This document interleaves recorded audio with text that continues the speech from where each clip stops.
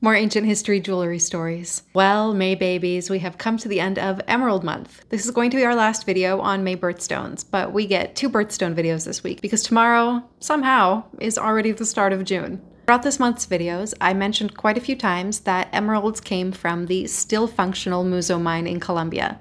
Most of you probably have no idea what that means, so I thought we could use the last day in May to talk about this incredibly important, historically significant emerald mine. Muzo is a town in Colombia. It's a little ways north of the center of the country. This part of Colombia is famed for its exceptional quality emeralds, and the mines within the town of Muzo have been in use since at least 1000 CE, but most likely going as far back as 500 CE. The company that currently owns and operates the mine, which is called the Muzo Companies, claims that the mine dates back to at least 400 BCE, although I can't find any concrete evidence for this, so I'm gonna stick with the more generally accepted 500 CE estimate.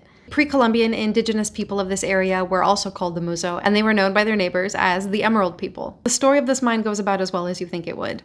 The Spanish, upon learning that there were valuable emeralds to be found within this part of Colombia, fought the Muzo people in order to gain control of the mines. It took four violent attempts to subdue the Muzo people, who fought back very valiantly and defeated the Spanish the first three times. After the Spanish conquest of the Muzo people, they took over the mines and enslaved the indigenous people to work in emerald production. The majority of these Muzo emeralds were stolen from Colombia by the Spanish and shipped back to Europe, where there was a feeding frenzy amongst the wealthy aristocracy who had an insatiable taste for Colombian emeralds. If you watched some of my previous birthstone videos this month, then you will note that these emeralds are much finer and a lot more transparent than the ones that had been found closer to Europe.